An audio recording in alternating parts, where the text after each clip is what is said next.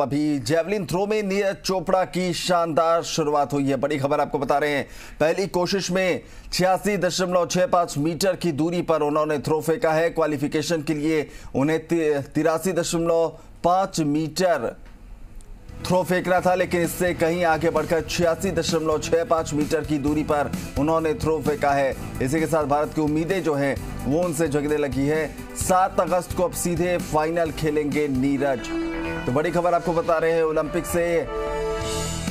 एक बड़ी खबर निकल कर आई सामने, जेवलिन थ्रो में भी हिंदुस्तान की उम्मीद बरकरार है। जेवलिन थ्रो में नीरज चोपड़ा की शुरुआत बेहद शानदार रही है। पहली ही कोशिश में छियासी दशमलव छह पाँच मीटर की दूरी पर उन्होंने थ्रो फेंका है। क्वालिफिकेशन के लिए जबकि जो टारगेट था, वो तिरासी दशमलव पाँच मीटर का रखा गया था और यही वजह है कि अब सीधे फाइनल में प्रवेश। सात अगस्त को सीधे अब फाइनल खेलेंगे नीरज।